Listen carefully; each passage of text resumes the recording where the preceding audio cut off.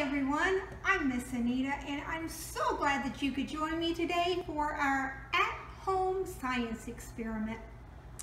My science experiment that I hope that you will do at home later is all about columns. Now columns you see all kinds of different places. You will see columns maybe on your porch. You might see columns um, on a bridge on many, many buildings. You might even see columns next time you come to one of our library branches. So make sure you look when you are there both inside and out. Our columns, when builders use columns, they have to decide on shape and size. They need it to be sturdy enough to hold up whatever they're building. Two of the most popular types of columns are circular and rectangular. So today, that's what we are going to make, and we're going to see how strong our columns are. So for our experiment today, the things that you will need in order to complete this experiment are two pieces of construction paper. Now you might say, Miss Anita, I don't have any construction paper at home. If you have printer paper, that works just fine. I don't know about notebook paper. Try it and see.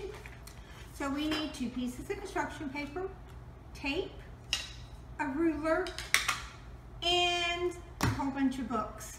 Now the books all need to be the same size, same shape, same thickness in order for our experiment to work.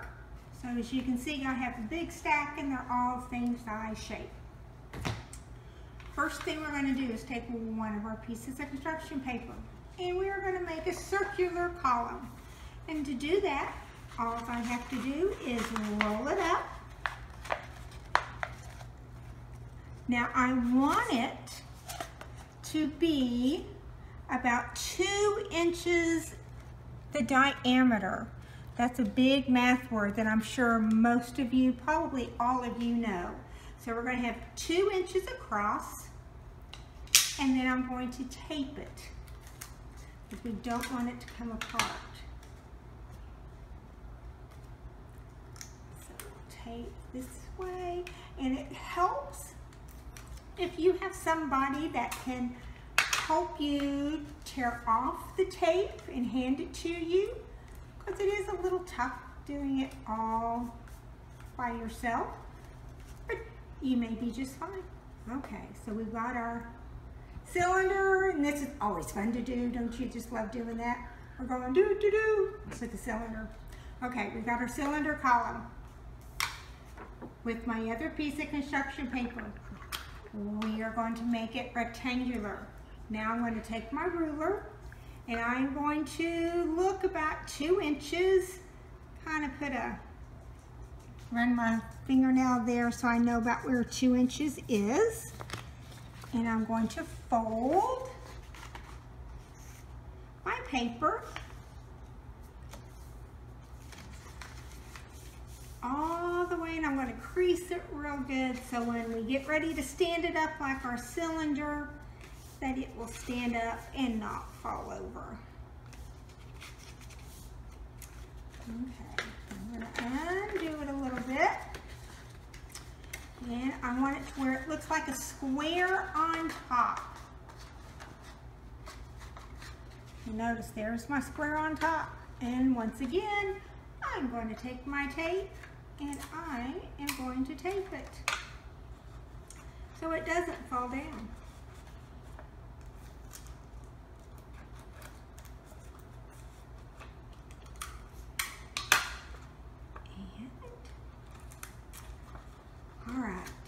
So I have my two columns, both the same height.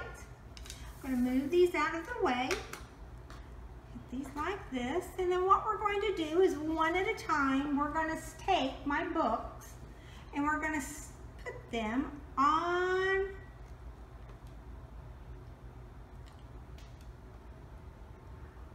our column.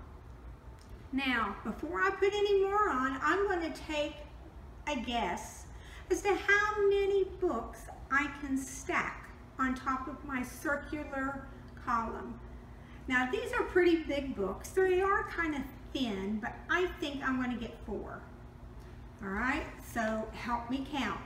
We're going to do four. I think four, and then when I put number five on, it's going to tip over. So there's one, two, three, four, five. It didn't fall. Six, seven, oh my goodness, eight, nine,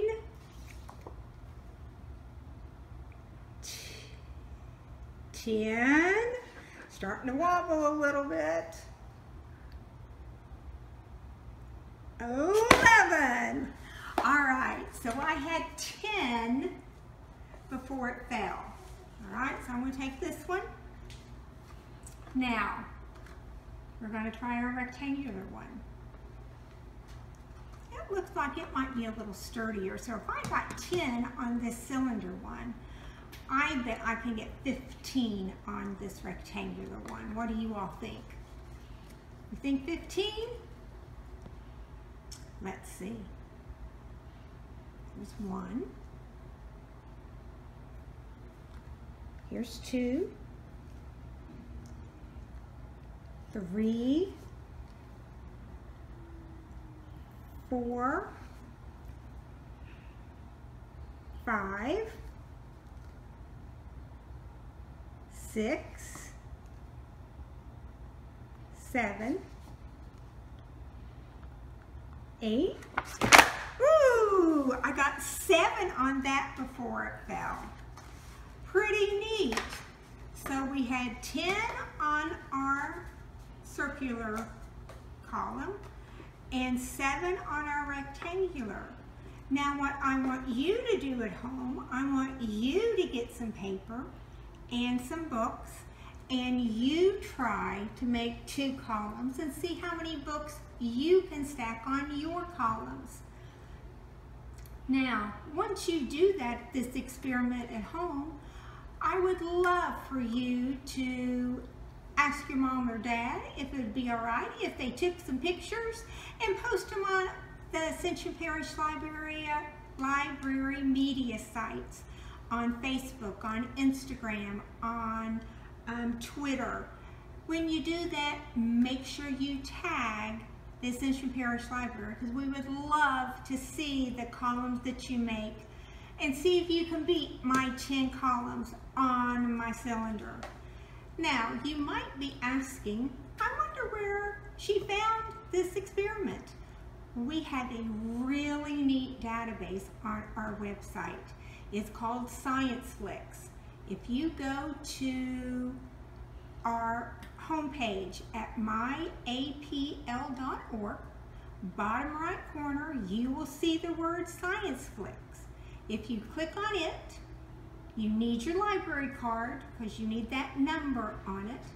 Once you enter you, your number, you will have all kinds of great things dealing with science.